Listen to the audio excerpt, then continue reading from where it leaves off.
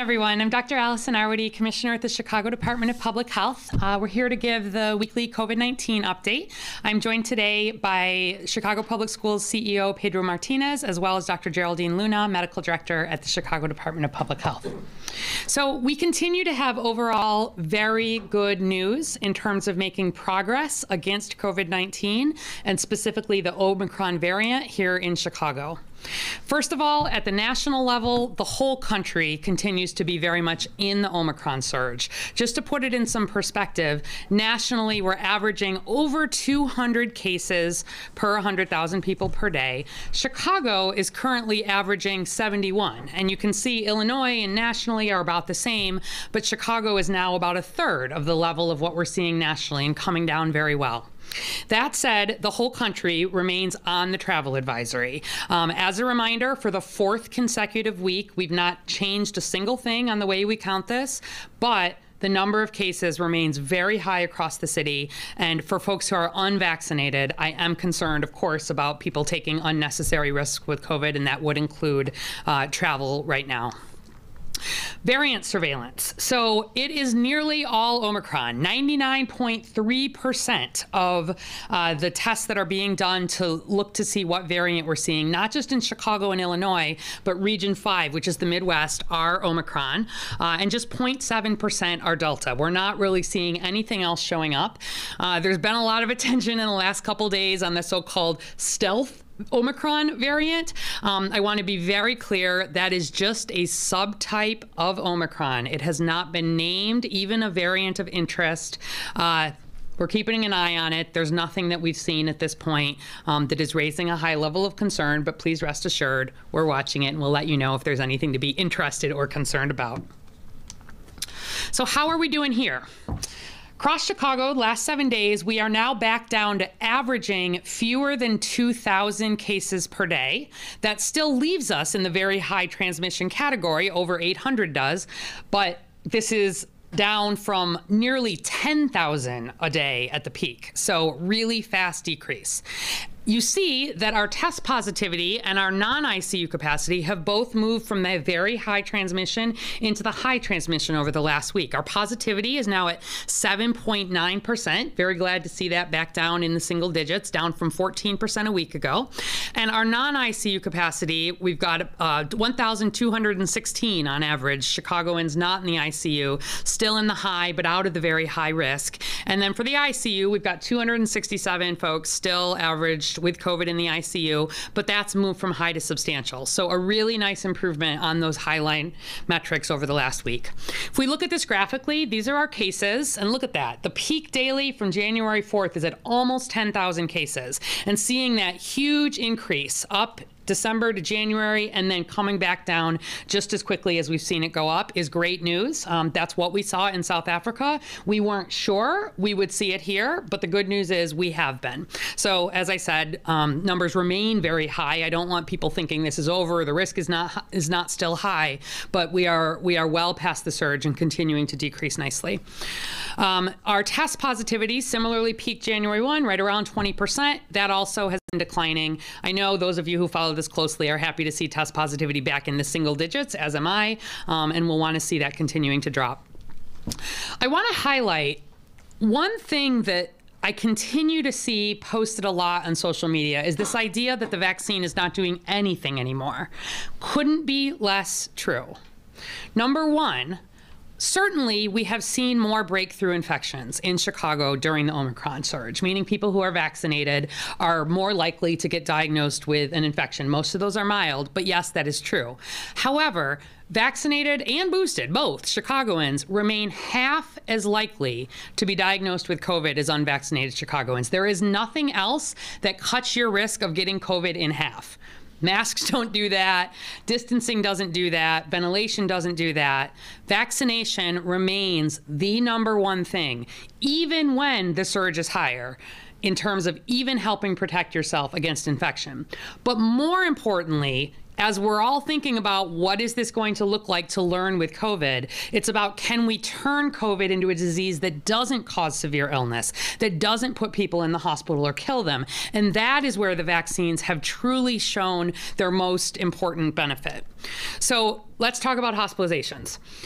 COVID hospitalizations in Chicago, meaning people newly diagnosed with COVID each day, yes, they are decreasing, as you see on the graph there, but there are still more Chicago residents being newly hospitalized right now each day with COVID than at any point since May of 2020, the beginning of the pandemic. We're currently averaging 154 new hospitalizations every day. That's down from a peak of 263.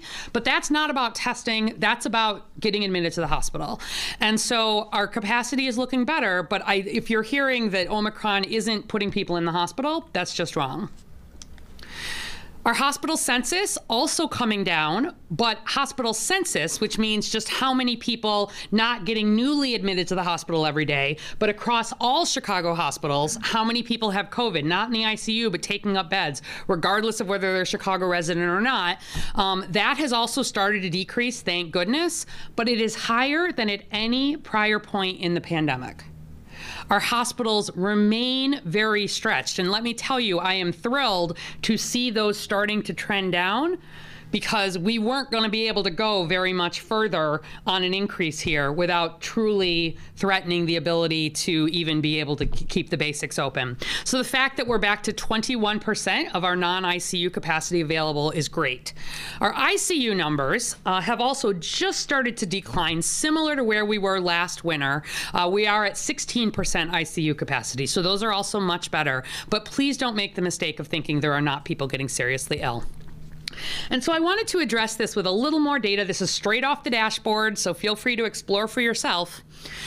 I keep hearing either that nobody or only older people can get seriously ill from the Omicron variant. And it is true, thankfully, that the Omicron variant overall has not made people generally sicker. But the number of infections is so much higher that the number of hospitalizations, as I said, is the highest we've ever seen. The fact is that older people are much more likely to become seriously ill than younger people if they're infected with COVID. We've seen that all along. But we have seen plenty of young Chicagoans, and especially unvaccinated young Chicagoans, be hospitalized with COVID 19 here in Chicago during this Omicron surge. And yes, that does include some younger people without any serious underlying conditions. I can't predict for you, just looking at you, whether you're going to be one of the people who gets a serious infection, but I know that the vaccines help help protect you more than anything else can. So, this is Chicago's data just since December, this December that just happened through the present, not even two months, we've had at least 6,646 Chicagoans hospitalized with COVID 19. And we have had at least 805 Chicagoans die from COVID 19 just since December, just during Omicron. 673 of those hospitalizations, 10%, and five of those deaths were in Chicagoans age 18 to 29. And 668 of those hospitalizations and 17 of those deaths were in Chicagoans 30 to 39. So, yes, it is true more of the people who are being hospitalized and dying are older. We value older lives just as much, of course, but I keep hearing this myth that younger people don't get sick. And right here in Chicago, it just hasn't been true. And it's one of the reasons we continue to emphasize the need for people, even people who are generally young and generally healthy. Yes, it's about protecting others and getting past the outbreak, but it is also, honestly, about protecting yourself. Here's the data on that then even if people do get a breakthrough COVID infection, vaccinated Chicagoans remain five times less likely to be hospitalized in blue there than unvaccinated Chicagoans just during Omicron. And the recent increase in hospitalizations for kids, for example, in that 5 to 11, where there's been a lot of attention, we've not seen a huge surge there, thank goodness. But almost all of those among people who are unvaccinated in red there. Blue shows um, where there have been vaccinated younger children's hospitalized. But we see this pattern no matter which age group we're looking at. And then finally, even if they get a breakthrough COVID infection, vaccinated Chicagoans in the blue lines at the bottom there, going from October all the way forward, also remain five times less likely to die than unvaccinated Chicagoans. And nearly the entire surge of deaths during Omicron has been in unvaccinated Chicagoans. Do you see how those blue lines remain relatively flat, sort of through November and December? It's that red line spiking up. That's the hundreds of excess deaths in unvaccinated Chicagoans. So when I keep making this point, it is about the goal to stay open as a city. It is about the goal to save lives, and it is about the goal of putting vac- putting COVID behind us and learning to live with something that is more manageable. So, a few updates. Um, you may have seen some new terminology, and I wanted to make sure people understand what this means. Uh, this is through the CDC. We have already been using it. Um, but where we're asking what's your COVID vaccination status, there's two different terms that we and everybody across the country are using. Fully vaccinated continues to mean you did the most important thing, which is get your primary series of the COVID-19 vaccine at any point. If you got one J&J or two Pfizer or Moderna, you have done the baseline and the thing that gives you the biggest increase in terms of that protection. Up to date, though, means that you have received all recommended COVID 19 vaccines, including any booster doses when you're eligible. And so you'll see us be using this up to date terminology. It's better to be up to date, of course, and we've seen boosters provide even better protection. Um, but someone can be fully vaccinated and up to date if they just chose to get their first vaccines last week because they're not due for a booster yet. On the other hand, if they got both of their first vaccines a year ago, they would be fully vaccinated but not up to date because they are due for a booster and haven't gotten one. So, when do you get a COVID 19 booster? As a reminder, recommendation anyone 12 years and older should get boosted. You should get boosted five months after your initial Pfizer series for those over 12 or Moderna series for those over 18. You should get boosted two months after your initial J and J vaccination. We strongly encourage people to do that. But the, in terms of the requirement at schools for the city to get into high risk settings, it remains fully vaccinated um, for now. Citywide vaccination rate, we are up over 79% of those who are eligible, five and up, having had a first dose, 71% fully vaccinated, making good progress there, and coverage among 12 to 17 year olds in particular doing really nicely there. Um, we're at almost 77% of our 12 to 17 year olds having gotten a first dose, and the eight, they're right up neck and neck with the 18 to 29 year olds. And we've seen a lot of 18 to 29 year olds and 30 to 39 year olds making the new decision to get vaccinated right now because they're wanting to do some of the things that they that they can't do during the vaccination um, requirement for high risk places right now. So the last myth I wanted to address is that everyone who is going to be vaccinated already has been. And I know those of you who have been paying a ton of attention to COVID just think, are there still folks out there? Boy, they've been hearing this for a year.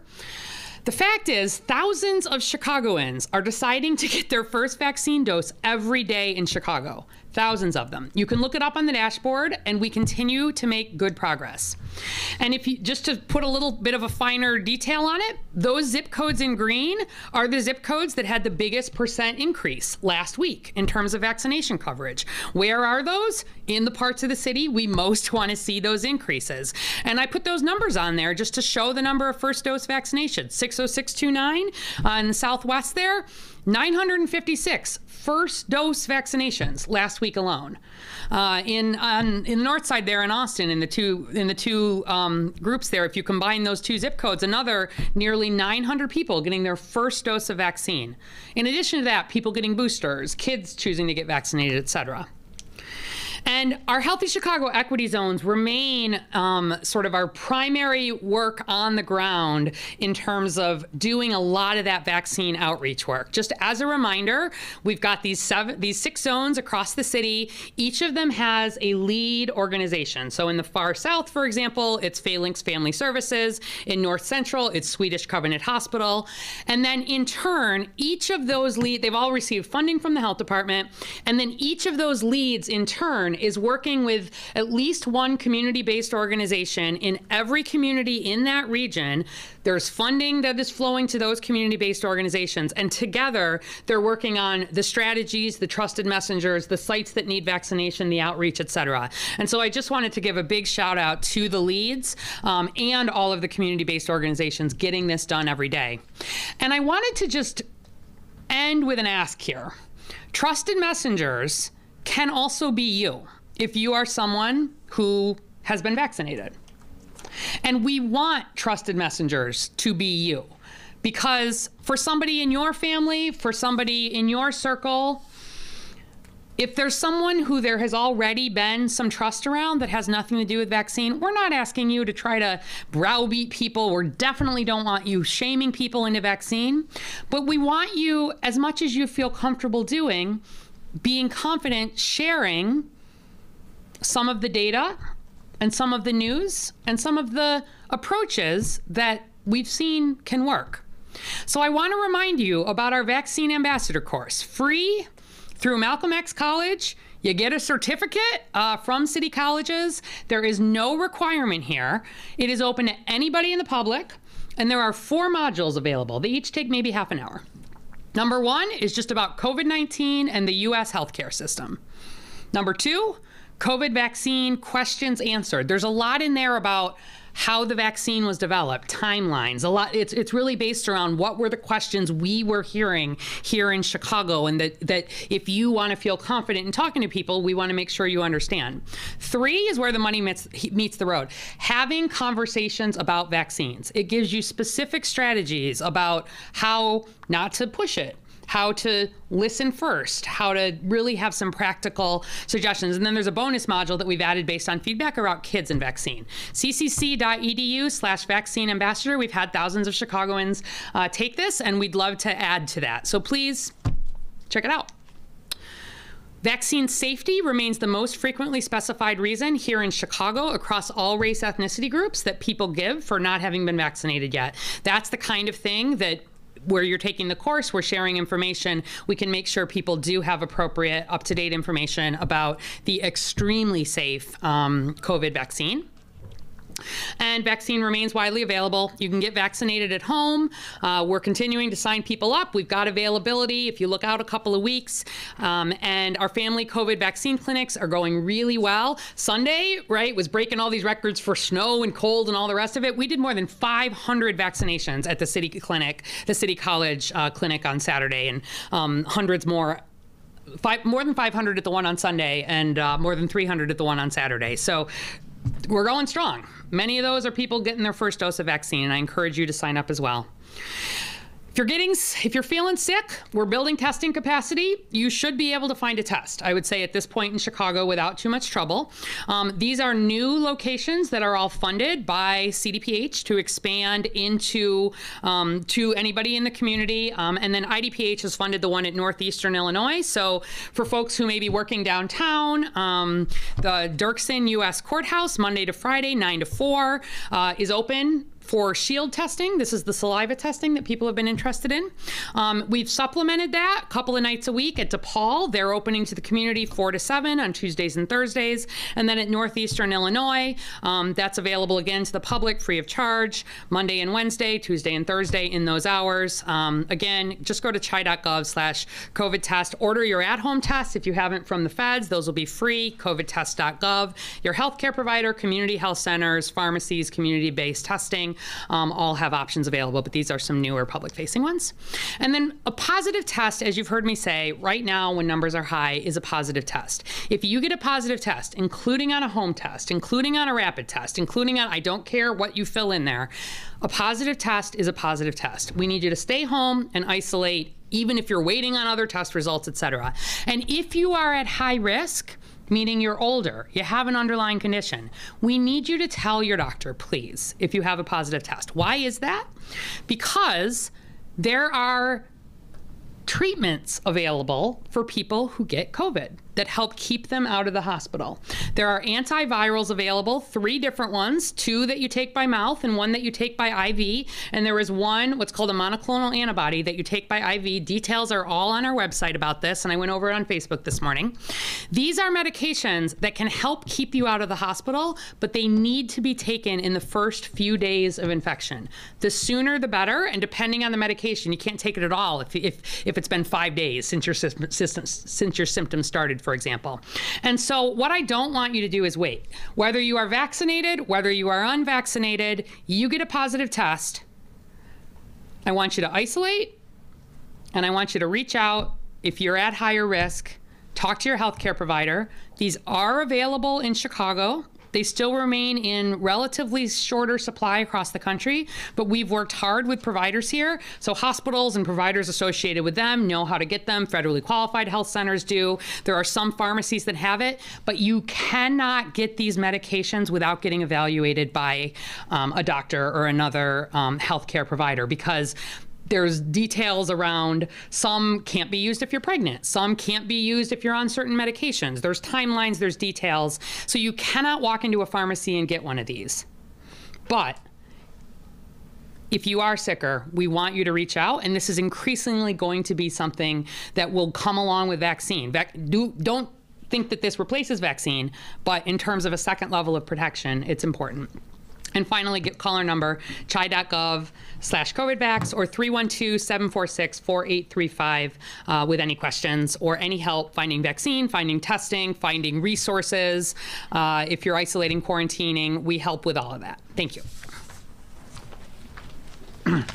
Thank you, Dr. Arwady.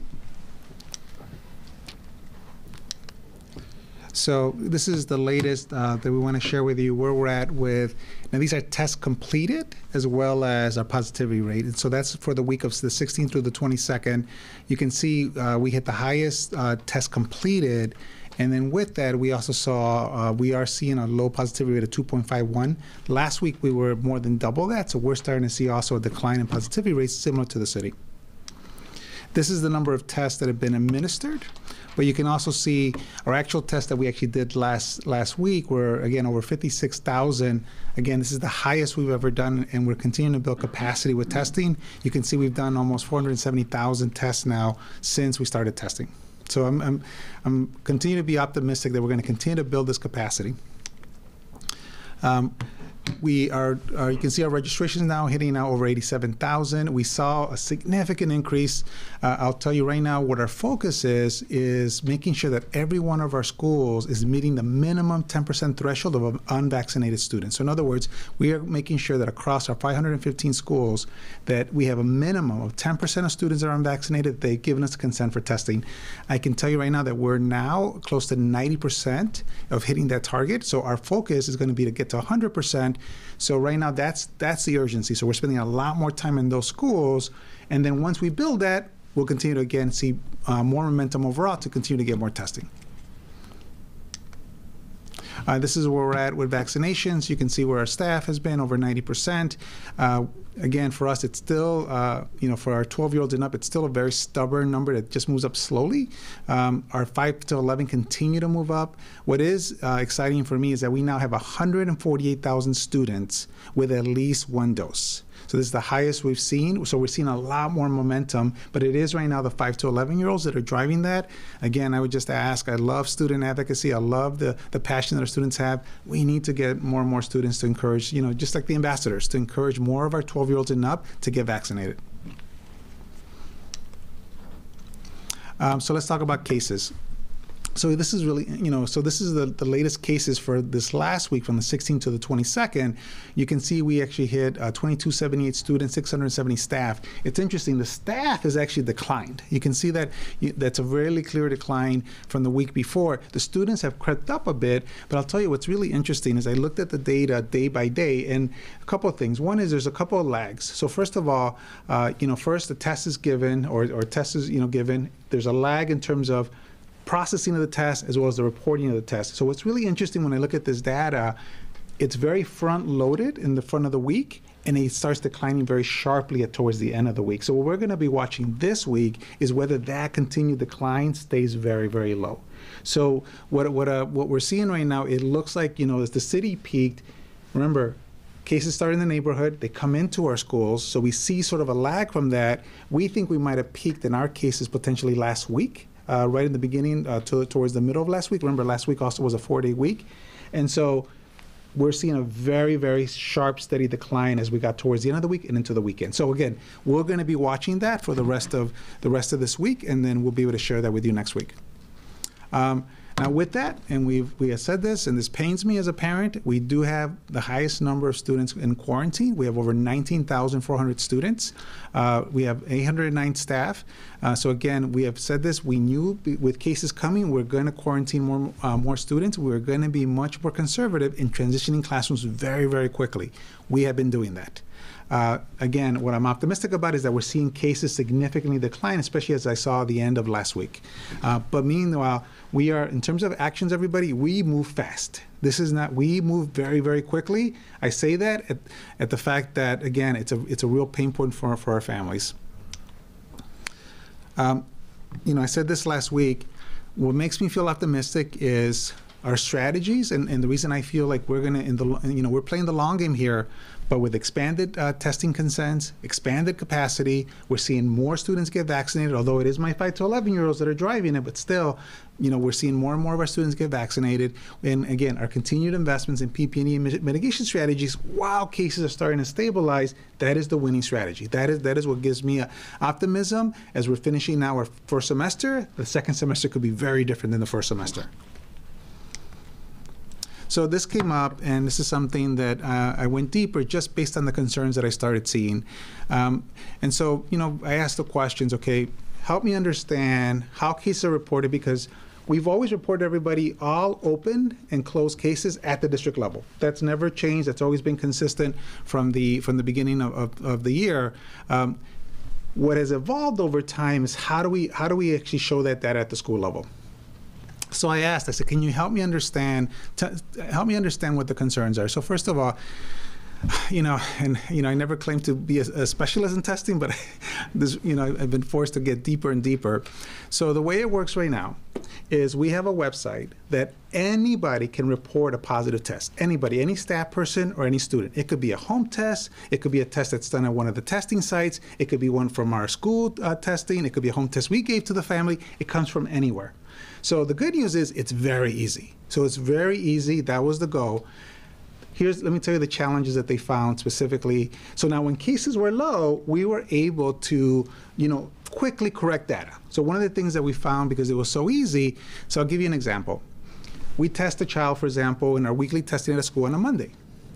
We, you know, the parent gets the result, let's say hopefully, you know, ideally within 20, around 24 hours. So by Tuesday, the parent gets the result many times our parents will go in and report that test through our website. Meanwhile, because we got the result and it's and it's part of our uh, part of the the process we have with the vendor, we get the test result also, and it gets duplicated. And then some of our families, and Dr. Arwady said this, in some families they still want to get another test, right? Because it could the test could be a home, could be weekly. Again, then they go get tested again, and guess what? They report it again. So we constantly see these, these issues. At the district level, we can manage that because, again, it's a pretty large scale. At the school level, it gets very tricky. And so, again, you know, I, I understood that from the team. I said, okay, I understand what your concerns are. Um, I also fully understand and appreciate the fact that parents need relevant, actionable data. And the most relevant and actionable data is at the school level. So what, what, I'm working with the team on is let's figure out how do we make sure that we have accurate data, right? Because we don't want data that has you know duplicates and triplicates in it, especially at the school. At the district level, not a big deal, but at the school level, you can see numbers get magnified significantly. So how do we make sure we provide accurate data? So one of the things that we're looking at, for example, and by the way, I want to say this. Thank you for everybody who pays attention to this data. I mean, again, we this has been an evolving process, folks, since the beginning of the school year. We need to continue to evolve and we need to continue to just learn.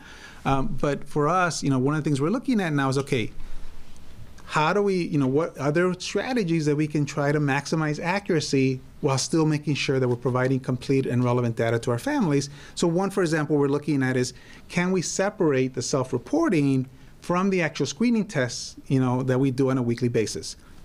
A month ago, two months ago, I wouldn't want to do that because, frankly, our weekly testing wasn't where it needed to be.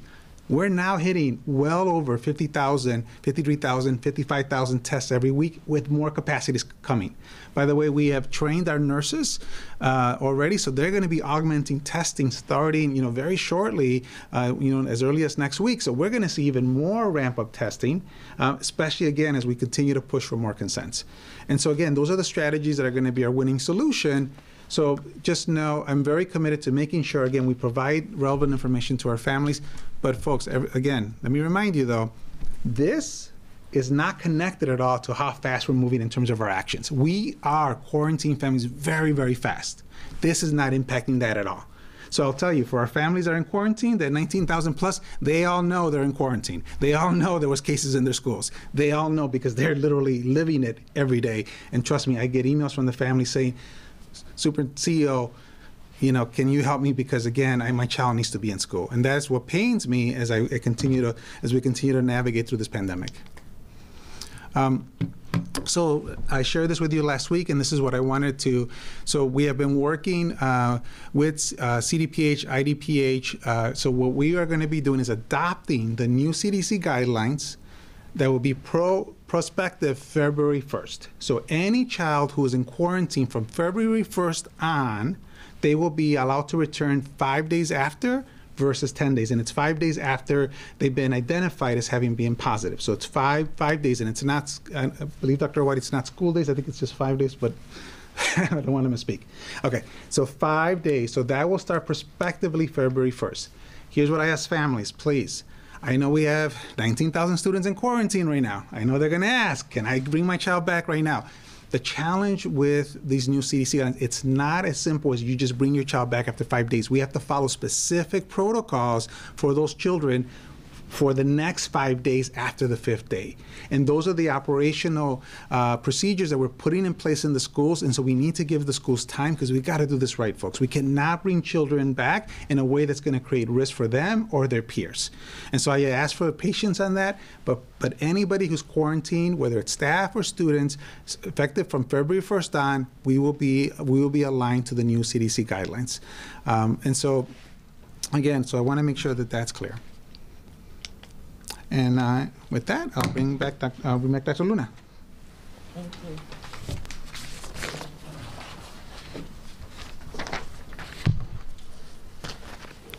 Muy buenas tardes, yo soy la doctora Geraldine Luna, directora médica del Departamento de Salud Pública de Chicago, y hoy les vengo a dar actualizaciones.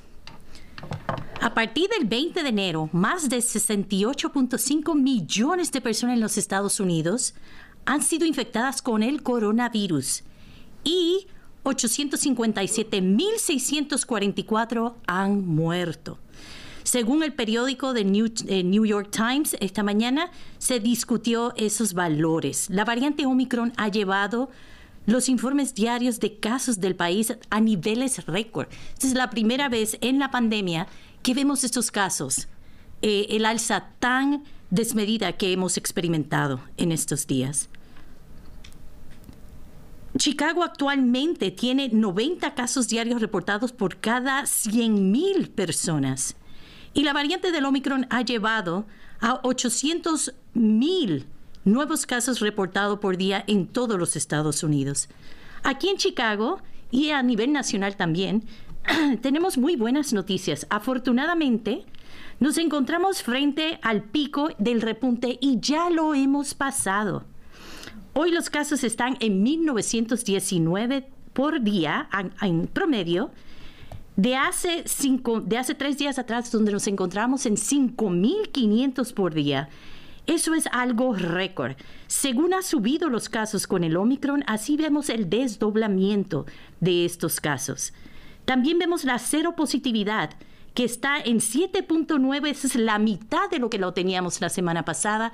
Estas son muy buenas noticias que nos encontramos en la parte donde estamos recuperándonos o estamos devolviéndonos, bajando los casos del repunte por el Omicron. También vemos que la capacidad hospitalaria y de los intensivos ha aumentado. 21 para los hospitales, 16 para la sala de intensivo y esos números siguen progresando de forma positiva, pero nos encontramos todavía en alto riesgo, alto, significativamente alto riesgo en casos cuando estamos hablando de transmisión comunitaria, así que no queremos que nuestras familias bajen la guardia. Los casos de COVID-19 alcanzaron su punto máximo en enero 4 y han ido disminuyendo desde entonces. El pico de la positividad llegó a 19.1 y hoy lo tenemos en 7%. Las tasas de infección siguen disminuyendo y la, segunda, la, vacuna sigue siendo altamente protectora. Así que esas personas que piensen que la vacuna dejó de protegernos porque estamos viendo el Omicron, la variante de Omicron, se equivocan. Hemos visto los números, las estadísticas. La protección máxima ocurre cuando no tan solo te vacunas, pero también tienes tu refuerzo al día. Y estas son las medidas nuevas del CDC decir eh, completamente vacunado significa tener todas sus vacunas, pero cuando decimos estar vacunados al día, significa que si eres elegible para recibir tu refuerzo, también tengas tu refuerzo. Las nuevas hospitalizaciones diarias de Chicago han comenzado a estabilizarse y las cifras siguen siendo muy altas, pero ya lo tenemos en 262 siguen disminuyendo y las personas vacunadas tienen menos probabilidades de experimentar la enfermedad grave. Y esto es donde cada quien quiere que la vacuna sea más protectiva y protege contra muerte significativamente. Las muertes entre adultos no vacunados ha aumentado, mientras que el riesgo de la muerte entre adultos vacunados se ha mantenido bajo o casi ninguno. Miles de eh, chicagoenses toman la vacuna y toman la decisión diaria de vacunarse. Y los códigos postales donde hemos visto la mayor aceptación son el 60639 y el 60609. Así que felicidades. Y el aviso de viajero Ahora tenemos la cuarta semana consecutiva que todos nuestros estados se encuentran en la lista de aviso. Como siempre, le pedimos que por favor, si está infectado con el COVID-19, si está vacunado, por favor aíslese. Si no está vacunado, por favor no viaje y recuérdese, si es elegible para recibir la vacuna, por favor reciba su vacuna para que tenga su máxima protección. Y los esfuerzos de la vacuna continúan a nivel comunitario. Este fin de semana tenemos la clínica Kennedy King este sábado abierta de 9 a 2, vacunando desde pediátricos hasta adultos y dando refuerzos con incentivos de hasta 100 dólares, 50 por cada vacuna. Y el domingo tenemos a Olive Harvey también vacunando de 9 a 2 de la tarde con los mismos incentivos. Así que sí, ya tienen niños de 5 años en adelante, son elegibles. Y el programa Protege a Chicago al Hogar sigue efectivo, sigue en pie y sigue, eh, ¿verdad? Eh, vacunando a nuestras familias con eh, la capacidad de vacunar hasta 10 por visita. Así que si quieres recibir la vacuna en su casa, acuérdense 312-746-4835 y lo hacemos posible con esos incentivos también que funcionan. Y le devuelvo ahora el micrófono a la doctora Arwari. I get back the phone, the microphone to Dr. Arwari. You're on both sides of the room. You can please identify yourself and the first time around, limit it to one question and a follow-up.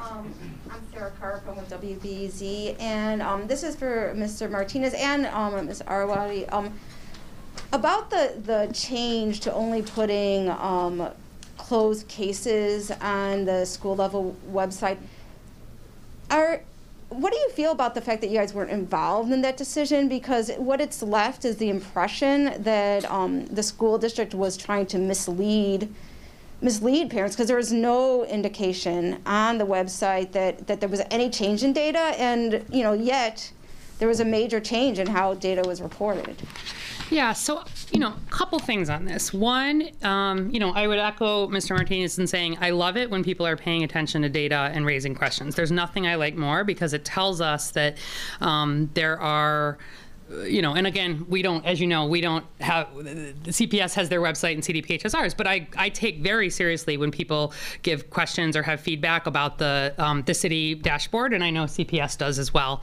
Um, you know, we don't consult on the level of sort of how data may be portrayed with the zillions of people who we oversee. The health department, you know, just as a reminder, our high level role here is to make sure that we're not seeing signs of trouble in schools. And we do have access, and we've been getting more access just to make sure that where we have we can provide perhaps some additional support around data messaging, et cetera, because I've got a team that does a lot of that. But what I'm interested in is not sort of what is this overarching number. Um, I do completely agree that separating what is happening on screening testing from the other reports that are coming in 100% makes sense. And i think a goal of moving toward doing that at the school level really helps people understand what those risks are behind the scenes at the health department, just like we do for other schools, not not just CPS, other settings. That's what we're looking at. We're looking to say, you know, number one, are we seeing? We know what the positivity is at the city level, right? We know what the positivity is at the district level or at any other school level, and then are we seeing schools that are significantly above that? That is one warning sign that there may be trouble there, and you want to act on that very quickly. Number two is that all pediatric cases get reported full stop to the city of Chicago, right? So I want to just make sure people understand that. They are all reported in the data that we're sharing. Behind the scenes, my team is doing that data cleaning and matching and not double reporting, and that is a ton of work. I think, you know, the decisions that a, a school district is making about how to, you know, how to put that forward, I completely, you know, I know there was not ill intent in this. There's nothing that is trying to be hidden, but I think helping explain to people what you're what you're showing and why is is important. Um, and I think particularly, um, you know, in a system that's had a lot of attention on this, uh, wanting to make sure that we're being as clear as possible about that. What we are the most interested in at the health department is are we seeing clusters? Are we seeing outbreaks? Are we seeing things that need public health action? The number of cases at a school, even in a district, doesn't really matter to me. It's about are we seeing a number that's that's been clean, that's been investigated, and is there a suggestion that there's something unexpected happening. Not just sort of at a school that's got 4,000 students, but at a classroom level. And so we do look behind the scenes, as you know, at, uh, and we do this with CPS to see, you know, how many classroom settings are we seeing that have three cases in them? And then do the investigation. Are those siblings? What's the deal? Okay, act on it. We're doing that and consistent, not seeing anything unexpected there and seeing it fall in line. And so really the health department is about making sure all schools remain places that do not put students at increased risk. And i remain very confident that's the, that that is, that that is true. Um, and i think at the school district level we will certainly support as they continue to just make sure people have confidence um, in the, the the very good data um, that they do have. You know i think um, so sarah even when this issue came up i thought about your question that you had last week which is um, and you know, and our the team is working really hard. I can tell you. I mean, the team, you know, meets on a regular basis. They they consult with, with CDPH on specific cases, and I, you know, when I when I got when I went deeper into what was going on, just to try to understand it, because there was no uh, ill intent at all. I didn't fully appreciate like the complexities of it, and I'll give you an example. We knew there was going to be a surge in cases. We knew that. We knew there were going to be a surge in cases coming out of the holidays. We knew that what I didn't fully appreciate is when those cases are reported, even though it's because the schools are closed, right? They're not in session. They, you know, it's a, it's in in the old way it was always attaching those cases still to schools, even though they weren't the schools weren't open. And so again, when cases were low, we could clean that up, right? And we would say these are actionable cases, these are not actionable. You get into all this, and again, I'm not the expert, but I get into all this terminology, which is very confusing for families, by the way. So and so I think the goal was can we just try to make sure we have more accurate data? But I think the unintended consequence was well, the answer is not close off so much of the information. And so I think, you know, so I'm telling, you know, again, the team is going back and say, okay, let's try to achieve these goals. And for me, the number one question is what does a parent need to know that again, so about their school and about cases. And right now, the most accurate data we have is our weekly testing. And because we are doing so much more of it, that's why we're now in this question of should we let's try to at least have that so at least at a minimum maybe you know and it could be that we provide all of it but we can maybe do tabs to say here's the screening data versus maybe self-reporting data. And then within the self-reporting data we have to figure out how to isolate cases that came from the weekend cases that it wasn't when a school was in session versus cases when school. So so those are the complexities. What i will say again is thank you for people looking at this data. Thank you for people pushing us. I think this is this is the way we continue to evolve and get better. We're also learning as we go along. But our goal is going to be my number one goal providing relevant information to parents so that it's timely. Again now what i would be really worried about is if we were waiting for this to act. Mm-hmm. I'm not seeing that I'm seeing the opposite. As soon as we're getting the cases, regardless of the source, we are acting very, very quickly why you're seeing so many children in quarantine, which creates other concerns for me. And so that's why, again, we wanted to adopt this new CDC guidelines as soon as we could operationalize it. Um, Just one more question. When you said that after the, someone quarantines for five days, then for the next five days, there's things that have to be in place. Can you just explain a little bit more about what those things have to be in place for those next five days? Yeah, absolutely. Um, and this reflects the the the science um, that shows that the risk goes down significantly after the five days, but it's not really considered gone until about 10 days. And so, number one, we want to be extra careful to make sure that everybody understands that anyone who has symptoms can't come to school in that day six to 10 period. And that's important because people may hear, oh, I've been out five days. I'm fine now. And if, you know, if it's child who was infected, if we're talking isolation and they're still having a fever, I don't care how many days it is, they need to be home. So we need to have extra attention on both the isolation and the quarantine side around symptom screening and making sure parents, staff, everybody has that awareness. Secondly, we want to have extra attention to masking. And this is similar, and this is similar at the at the city level. Um, really making sure, not that the schools are not paying attention to this at all times, but particularly in that uh, six to 10 day period, really making sure that that that everything that is possible to be done around masking and distancing and being extra careful is there. There also may be the need to limit um, some of the you know potentially extracurricular type activities. I'm not going to get into the details of that, um, depending a little bit on the situation. Um, but but the point is we want to do this, and we have been advising carefully on this. Um, but we know that it's important to keep everybody's confidence that these schools remain uh, settings that are not. More of a source of spread than anywhere else. I am very confident that that is true. I have no reason to think that that will happen with the shortening of the quarantine, but we want to put those extra safety things just to sort of belt and suspenders, make sure everybody is aware. We're excited to shorten it. We'll be following the data from around the country um, and making sure all of details like that are operationalized well.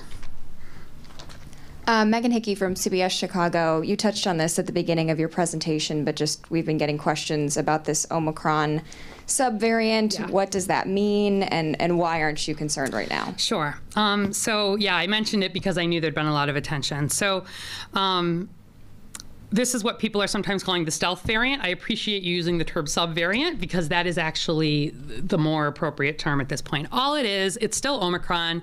It's just Omicron sort of certain letters point one versus certain letters point two.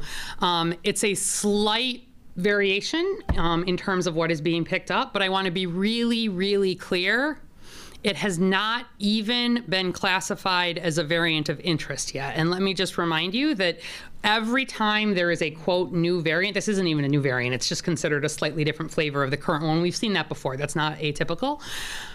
Every time there's a new variant, first of all, it'll get a name. So if this is something we have to worry about, nobody will call it the stealth something. It would get a it would get a Greek letter name. But that's if it's something we're concerned about.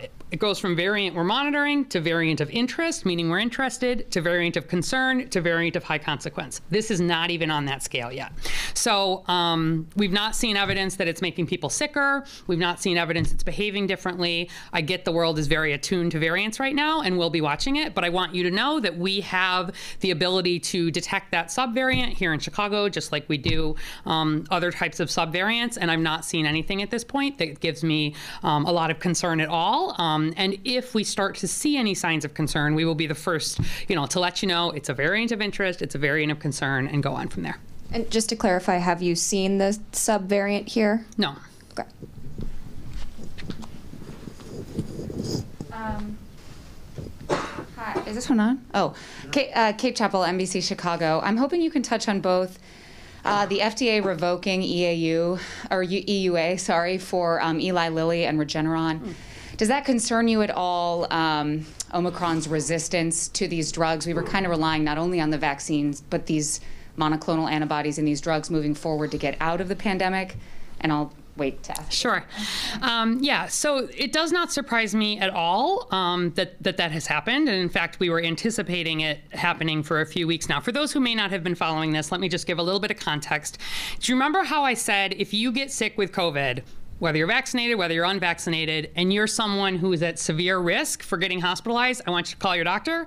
That is to make sure that you can get treatments that are increasingly available that help keep you out of the hospital. For most of the last year or so, really what we had available were three different, what are called monoclonal antibody treatments. Um, and two of them, the two that were being used the most, don't work against Omicron. They just don't.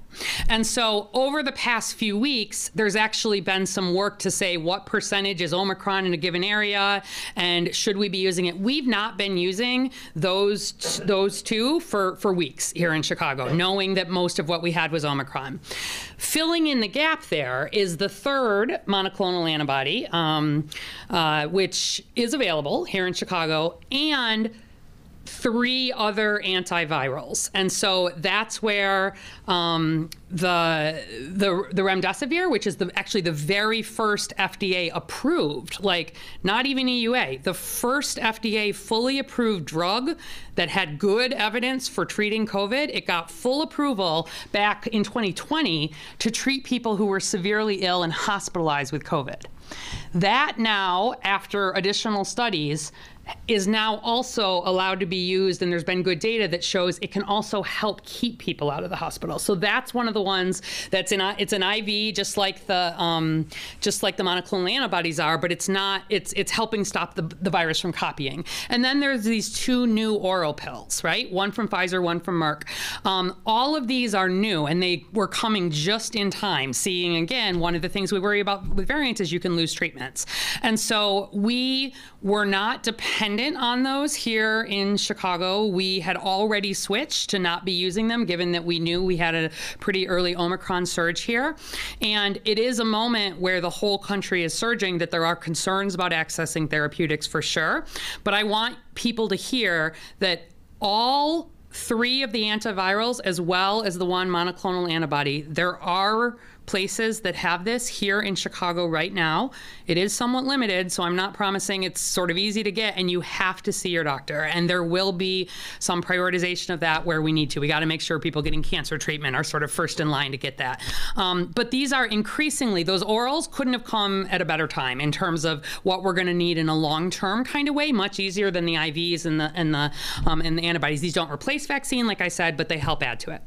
And then the other big headline today, uh, I would say, is that the Pfizer BioNTech um, has started clinical testing uh, for an Omicron specific variant. And on that same note, they're focusing on Omicron as, you know, 24 states, including us, are, are kind of out or heading the right direction and, and out of this surge. So, what does that say, or what is your perspective on what this says about the trajectory of the pandemic and, and how we're looking to vaccines in the future? Yeah, absolutely. So, I think the best news, you know, Omicron didn't have a lot of good news associated with it, but the best news that it had associated with it was that it continued to be very protective against severe outcomes, especially if people got a booster. I frankly thought, seeing how this was going to be moving, that we were going to need an Omicron vaccine. I was really worried about it. Um, but what we saw was that even though it isn't a perfect match, this is the OG of the vaccine, against those severe outcomes, it's doing its job beautifully. And so I am, of course, this is not the first time that we have seen a drug company be working on a new variant. Every single time a new variant, a subvariant, anything is emerging, right away, like that same day even the scientists are testing the vaccines against this. Are we seeing problems? Where does that need to be? I don't know for sure where we're going in a long-term way. You know i wouldn't think of it as an omicron specific booster as much as maybe a up to you know if this is even something that's recommended down the line. Omicron has about 50 mutations that the original one didn't have. And it's sort of pulling in some of the ways it's changed with alpha and beta and gamma and delta and, and omicron. And it could be something where it's sort of even a tighter match. But I don't know. You know, I'm feeling quite confident about the next at least few months here. Um, I need people to get vaccinated and boosted with what we have available right now.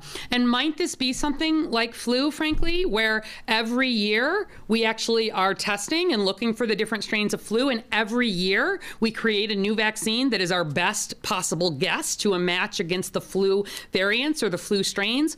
That might be what we're doing long term here. But as long as they, they they can continue to keep people out of the hospital, I see it as not like oh we're going to have an Omicron um, vaccine that everybody's going to have to take in a month. No, I do not anticipate that. Um, but I think it is important that we can just in the same way we lost some of the best uh, therapeutics, some of the best treatments. Um, we don't want to lose these vaccines, of course, and so I am all for uh, continued testing with all of the appropriate safety and efficacy procedures, and I think it's important that's coming. But no, I don't think we're going to have a, I need to get this one for Omicron. If anything, it could be um, perhaps if we needed down the line something that had been more tailored to, uh, in, to include all of the, the variations that we've seen. Hi, Dr. Arwady, Amy Jacobson, WIND Radio. I have two questions for you and two for Mr. Martinez. Um, we were here when you and Mayor Lightfoot announced the vaccine mandate, and at that time you said when we're on the other edge of this peak, Yeah. Then we're going to drop the vaccine mandates so that people can have some medical freedoms and you know do things that mm-hmm. we used to be able to do when we were in a free country. So we're clearly on the other side of the peak now.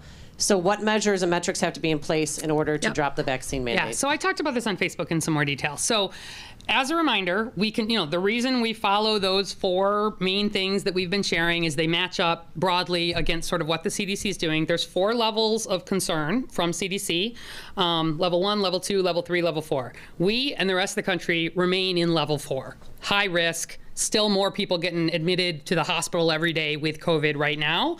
We are coming down, but we are not in a point. Remember, the main reason we do this is to help keep people from getting into the hospital honest to god like and and so my goal we we will not keep this in place indefinitely as we move seeing some of that movement across our metrics back toward lower right that blue that's what we want to see we get down there we would be we would not have that in place anymore. Is that happening next week? It's still not. We need to see these things down uh, to a point where the risk is lower. But yeah we this is not an indefinite um, but it is something that that right now the risk remains high um, and we're and the risk remains high for unvaccinated people stretching the healthcare system. Do you think vaccine mandates are working? yes Why? What makes because we've seen so a couple things. We've seen a nice uptick actually in those 18 to 29 and 30 to 39 and we collect data actually at the sites that the health department is running. We talk to folks about why did they decide now is their time to finally get a vaccine a year in. Um, and we are hearing actually quite a lot. Like one, some of the reasons why people are telling us right now is the time they're they're getting vaccinated. A big one is that they they w- want to be able to do some of these things. Um, Number two, we're hearing people say, I feel like finally it's time. There's more people who I've seen. It's been a year, we hear sometimes. I'm less concerned about it. There's a whole range of things. We hear a lot about school. Um, people saying, I want my kids to stay in school. Um, I want to have, you know, lower risk for my family. And then we just hear people just does, you know, it's surprising to me, but there are people who are just like, yeah, I decided like today would be the good day. But the but the vaccine requirement I do think has been important for us feeling more confident in terms of being able to stay open as a city, which remains since last April, since fully reopening, we've not had to shut anything down or put any capacity limits in, and I would love to keep it that way. And this is a way of um, keeping those highest risk settings open while we weather this sort of healthcare um, surge. And honestly, if people aren't vaccinated, at least go get treatment because that helps keep you out of the hospital too. I know I said two questions, but let's talk about that treatment because we all know a lot of people who've been hit with the Omicron. Yep. They cannot get monoclonal antibodies unless you're 60 plus or obese or morbidly obese or have diabetes. What give? Tell us, and these therapeutics too. It's almost impossible to get therapeutics. They just tell you to oh take two Tylenol and then So- four hours take two more Tylenol. So this is where this is where it depends a little bit on the underlying conditions, which I'm saying I want people to call their doctor about because it is true that if there is somebody with no underlying, you know, if there's somebody who's 28 years old and has relatively mild COVID, that is not a person at this point for whom um, these are being prioritized. As there is more availability of it, that will be true. But people who have underlying immune conditions, especially if they're over 60, people who, yeah, have diabetes, who have some of this, that is who we want to get treatment. And what our providers in Chicago, especially the outpatient ones, are telling us, you know, we've been doing a lot of work behind the scenes to make sure we have these distributed and there's availability. We're the the main challenge that folks are telling us. There's two challenges they're telling us. Number one, you can't give these drugs often if people are on a lot of other medications, and the people who are at highest risk. You can't like the Paxlovid, which is the one, the oral one that people are most interested in. It has a lot of drug-drug interactions, and so some of the people on the most medications can't qualify. Similarly, the other oral medication can't be taken if someone's pregnant. You got to do some extra testing, and you know, it's not that these are completely without risk, but for somebody who already has a high risk for COVID, absolutely the recommendation. And they're hearing not only are those the challenges in terms of, but that people are calling them too late. People are calling them a week in, 10 days in, they're really feeling bad. They maybe have to go to the hospital, and it's too late at that point to do those preventive medications. So we want people to call. I know that there, you know, I don't want, there are challenges here, and we don't have enough of it, but Right now, there are doses in Chicago that are not being fully used, and I want to see every dose coming to Chicago being fully used. Thank you. Um, Okay. Um, Oh, I have two questions. Well, so we've 19,414 kids that are at home right now. Probably 19,000 are fine, asymptomatic, or just feel fine and don't even have it. The rest of the state is doing a test to stay program. Why aren't we doing that, and when can we be doing that? Yeah, so definitely our test state pilot's still going to be in place. And in fact, I'm going to be optimistic that as we're seeing, because I've, I've been watching the cases and the fact that I saw last week cases dropping so fast, uh, and which I'm going to be watching this week. When you look at our strategies that I that I later uh, later uh, that I put together or that we that we have, add to that in a low case scenario, it's a perfect scenario for a test to stay. And so that's really going to be the goal. We just want to make sure that when we had warned our parents that knowing that the surge was coming, we warned ahead of time that we were going to be much more conservative in quarantine children. We're doing that. It pains me. But as cases start declining, with all these other uh, safety procedures that are fully in place COVID testing, more consents, more vaccinated individuals, all of our other uh, investments that we've done I think it's a perfect scenario so that when we look at a, a classroom, we can say, you know what? Let's, you know, it's a lowercase scenario. Let's do a test to stay. We have, by the way, we have more tests now available in the schools and at home, so the tools are in place. So the only thing we're waiting for is literally for this, for the surge to, to bottom out, or not, I shouldn't say bottom out, but to really not only stabilize, but to see a steady decline. We're starting to see that at the school level, like I said, when I started looking at last week and the weekend, at, at the end of the last week. And last question, uh, New York State judge uh, struck down the governor's mask mandates for schools. Some districts are defying the judge's order. We have a judge in Sangamon County that's going to be re- rendering a decision this Friday.